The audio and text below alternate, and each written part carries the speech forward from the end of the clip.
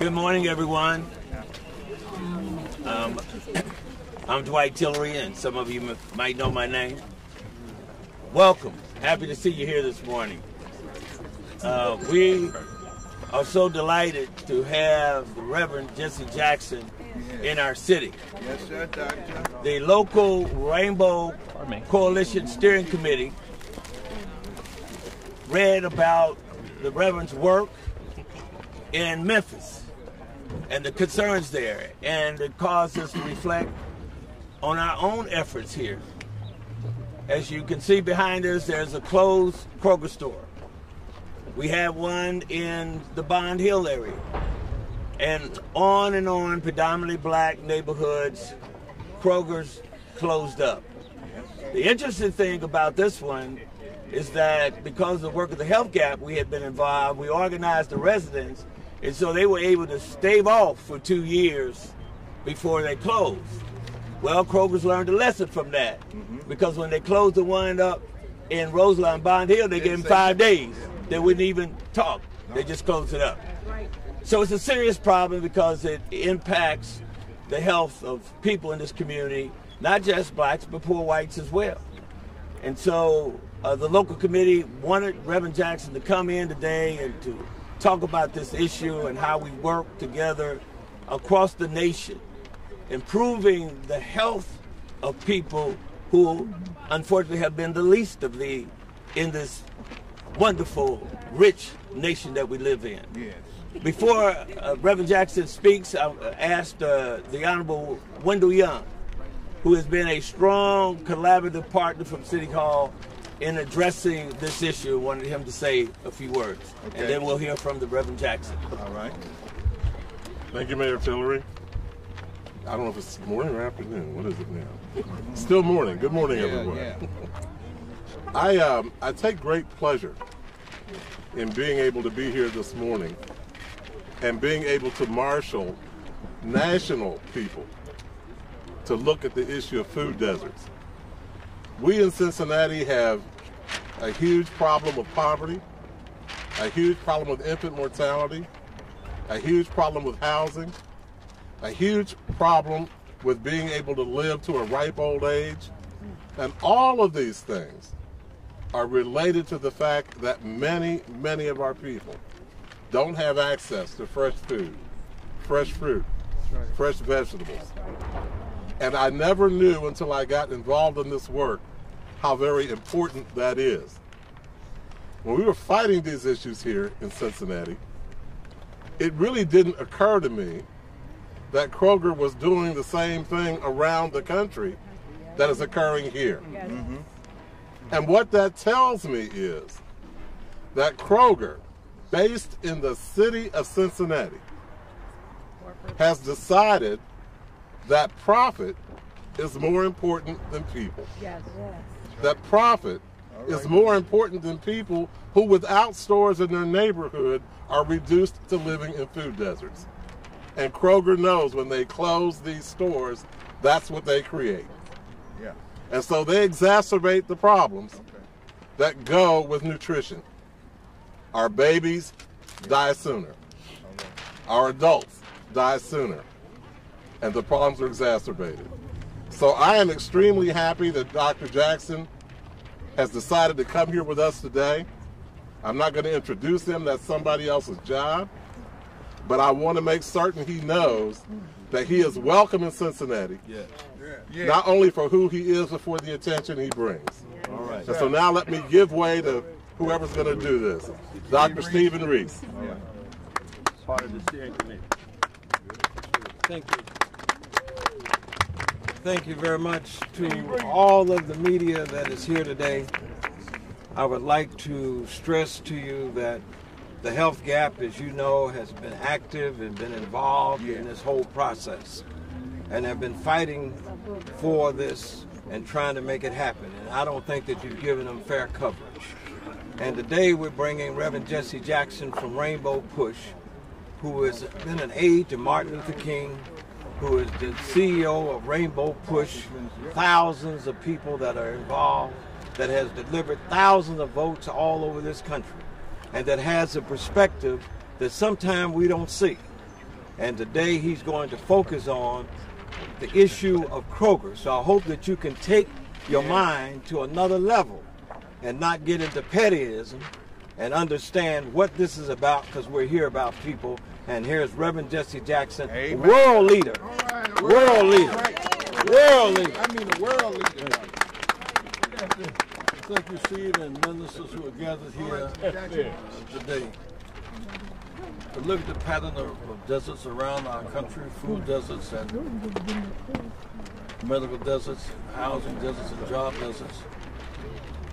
You don't have to be in prison to be on death row. That's right. You don't have to be in prison be on, on death row. Uh, we were in Memphis last week, remember- commemorating 50 years of Dr. King's assassination. Yes. So the 64% African American, contract 6%. 34% in poverty, making less than $10 an hour. Good God. We're in the Delta, miss rich, so are poor people. I'm talking about this in, uh, in Memphis. I got a call from Macon, Georgia. Savannah, Georgia. Same as Kroger. Called my allies here in Cincinnati about Kroger. So four issues, four issues we're going to raise here. Number one is that Kroger may choose to leave. It must have we must have the option to buy before they leave. Food deserts lead to early death. Many seniors for them is, is they get their food and their medicine. So when they leave without displacement, they die. Yes. We wrote a letter to the leadership of Kroger. They did not, did not respond to us. This is a, a pattern across the country. There, are- there are enough mouths to be fed and people to be served for Kroger to stay in the community. They may want to leave. There are people who want to buy. That's right. Secondly, concern here about the to employment. Means an anchor store that means to development. The second issue is the area of gentrification. People who lived in the community all their lives and look at stadiums being built to gentrify, and push them out. There's been resistance to that. Third issue, there was a great concern, it seems, from the conversations, besides uh, Memphis and Cincinnati and Macon, around the country. A concern about how the city manager is being treated. Real concern about Mr. Clark and how he's been, and last the voter registration, black, black, black. When people are depressed, they tend to wither away their spirits and they give when they're are, the city is about 50% African American less than 3% of the contracts are African American in the city hall. Obviously, that must change. But the abandoned urban city. But it's not just black issue. That's right. 44 million whites are in poverty. Million whites who fought against Obamacare want affordable health care. It's the same thing. They want, um, they want the eggs. And this must take a renewed focus on poverty. 33 counties in Ohio are in the Appalachian zone. Hardworking, poor coal miners, steel workers, chemical workers, they too need access to food and health care. How can people in Kentucky fight against affordable health care and they can afford, there's more month than money. So we're going to build a massive coalition, whites and blacks alike, and begin to engage in mass demonstrations, mass action for mass education. Yes, sir. We, we will resist displacing people with stadiums. We will resist uh, displacing officials without community consent in relationships. We certainly will resist these stores closing and leaving people. When you, when you desert the desert, you desert people. But Kroger's, they're deserting the food desert. Assuming if you close and we will not sell, people have to, have to follow you. We shouldn't have to follow them. They should be following the people. Yeah. Yeah. Uh, Say it just. 54% of African Americans make less than $15 an hour. 44% of whites make less than $15 an hour. Working poor people. More and more have less and less. And fewer and fewer have more and more. Too many live in the surplus zone, too many living in the deficit zone. We must democratize our economy. We intend to do two things. One, we want to restructure our economic thrust, and we fortify our faith in voting. We're going 81,000 unregistered blacks in the city of Cincinnati. We're going to do a massive voter, voter turnout for the next election, but also massive voter registration. Every high school senior to come across the stage with a diploma in one hand, and the voter card in the other. Secondly, those students who are in college have the right to register where they attend school. They must register where they live in Cincinnati. That's right. And as those kids who are playing basketball at the University of Cincinnati, they play ball in the fall, don't graduate in the spring. That too must change. Yeah, I Questions? that's right. Yes, sir. Uh, Reverend Jackson, sir, um, there are a large number of African American employees at Kroger.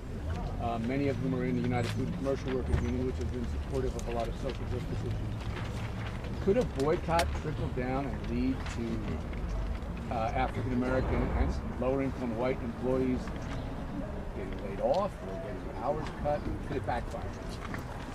When these stores close, they lose their jobs anyhow. Uh, the broader the base, the, the, the people wanting to buy their product is, is not against their jobs. We want them to work and be promoted. We want them to work and have black products and services in their stores as well.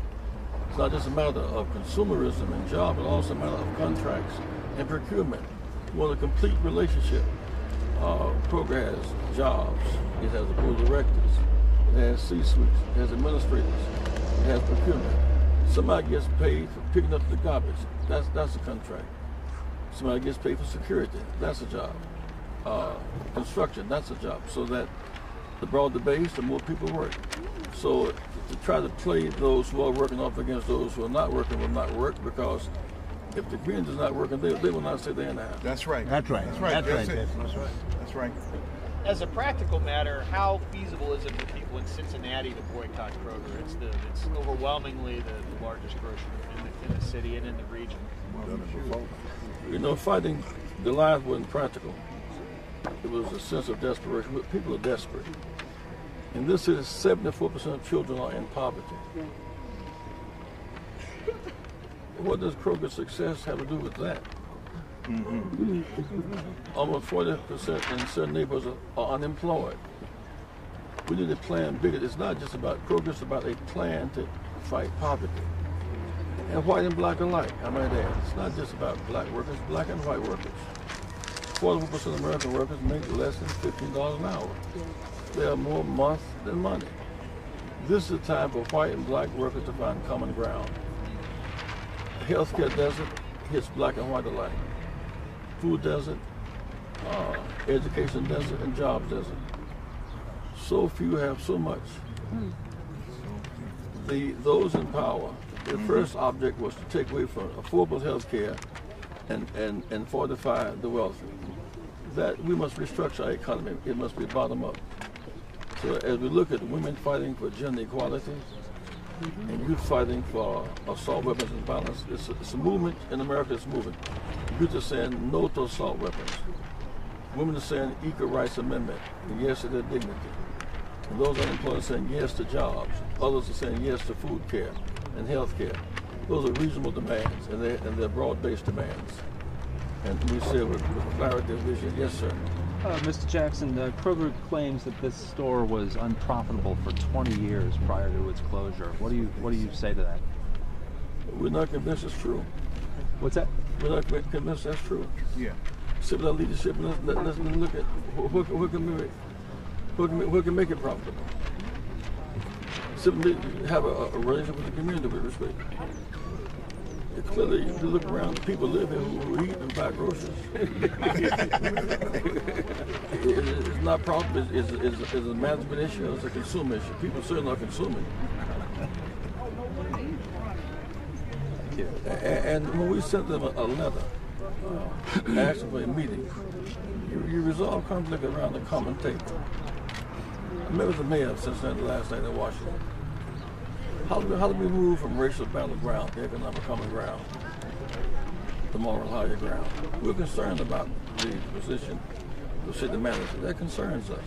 Yeah. We're concerned about the plight of gentrification around the country. For those with money, displace those who don't have money. We're concerned about the plight of people's broken spirits who don't register don't vote. We intend to fight, revive Dr. King's mission of a war on poverty, not against the poor, and then uh, this unnecessary wars and unnecessary violence. Now, when I use the marching to say uh, 350 million guns in our country, 8 million uh, assault weapons, that's insane, it seems to me. We want to go another way. Yes. Reverend Jackson, did you, did you talk to the mayor about the gentrification issue and what is a roiling issue right now, which you know well in the West End, about possibly putting a soccer stadium? We had a respectful conversation last night. The community is saying no. And we want to sit around the table with the mayor on, on, on mutually respectful conditions talk about the relationship. The soccer stadium cannot be imposed on people who don't play soccer. That's right. That's right. We sure don't play no soccer. People, people are interested, interested in living there, not playing Play soccer. soccer, there. yes. And, and, and, and downtown America, what we see is the building, building a football stadium and basketball arenas and mm-hmm. soccer stadiums. What about affordable housing? Right. Health care. That's right. Yeah. That's right. Food. Yeah. And jobs. Our priority is affordable health care, housing, food, and jobs that pay, and lower, and lower tuition for our children. That's our priority. Their tuition is football, basketball, and soccer. Those two different priorities. That's right, Judge. One more time. So food affordable, Affordable. health care, Healthcare. health care, Healthcare. housing, Housing. jobs, Jobs. pay, Pay. education, Education. stop the violence. Stop the violence. Those are our priorities. Thank you. Soccer, Thank you. soccer stadiums, football, Football. basketball, Basketball. is all right. It's all right. That's luxury. It's luxury. We're living We're in living necessity In necessity. and desperation. and desperation. That's right. and demanding access to people who live in this building here. Mm-hmm. Why, why, why must they go to the shop? Get in. Yeah, they left them. They left. That's right. Let, let, let, They walked out. let, let the people. They mean, that, they mean to be making enough profit. If they've not made profit 20 years, they should have gone 18 years ago. should have left a long time ago. But, Walked but, but, but, but, but if you must leave, top of leadership. As we revive Rainbow in this area, Dwight will be our spokesperson. That's right. He'll be our point person. Yes, sir. That's right. Who is fully capable. The, the bishops are rallying together. Yeah. Listen, listen, uh, Reese is our economic. behind you. We're behind you, Jeff. Yeah. Uh, our city councilman The Jeff. helped raising residents. Yes. Dwight Tillery. Young. Next. We- We're going to buy a school to speak to our youth. Uh, Then we're going to picket Kroger downtown. I think it's twelve thirty. We want to meet with the chairman of the board and the CEO and work out a plan. We come in peace, Yeah. but no justice, no peace. No peace. No We want a mutually respectful relationship. They sell, we want to buy. They must do, they must go sell it to us. Yeah. They must go sell to us. That's right. We want the option to buy. They must go. If if they can't make it profitable, we, We can. People who can. That should be a reasonable option. When they close, what, what do these people go to get food? Catch a bus. Catch a Uber. Elderly people, too. Some. Yeah, the elder. Elderly people. Old oh, people like me. You ain't old, Jeff. You ain't old. You ain't old. Well, guys, we- we're going. What school are we going to, right? Uh, Dawn, We're going to Don School. down on McMillan. Yeah. All 17 year old, all seven, there are 4 million as, as our youth fight these guns. We're so glad they're doing it. The 4 million high school seniors are eligible to register and vote right now. The more 17 and 18 year olds and are 71 and 81 year olds. Young America can register and vote. Those who want low tuition can register and vote. Those who go to school here and live other places can, can register and vote for they attend school. Uh, and lastly, everybody who votes has a right to take someone in the, in the booth with them. We must inspire people who are afraid of voting that voting is only those who vote can serve on juries. Those who vote can determine the quality of the leadership. And we look forward to a Cincinnati that's black. If we, can- if we can play baseball together uh, as Reds, and the football together as Bengals, we can vote together as citizens. We intend to vote together.